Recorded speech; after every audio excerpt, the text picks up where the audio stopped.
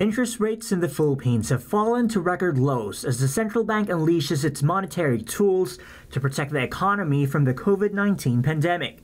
But the country's many micro, small, and medium enterprises have not benefited from this, as latest data show MSMEs only account for nearly 9% of business loans and 6% of total bank loans.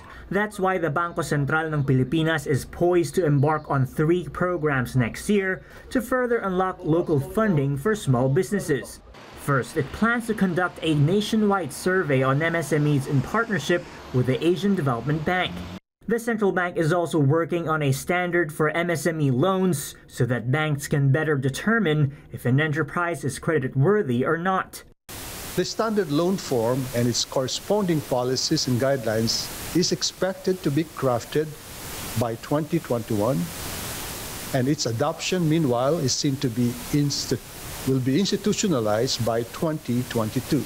The BSP is also working on supply chain finance which allows lenders to use MSME's receivables and inventory flows to lend out to small businesses.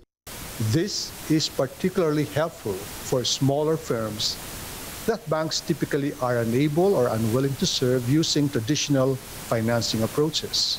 The potential for SCF is highlighted during the pandemic when more firms relied on early payments from customers than bank loans as a source of working capital.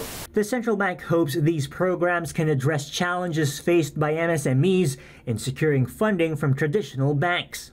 Big lenders have been reluctant to lend out to MSMEs amid the perceived high risks due to the lack of information on their market operations and viability. On the other hand, MSMEs, especially smaller ones, are not familiar or are intimidated by the bank's requirements.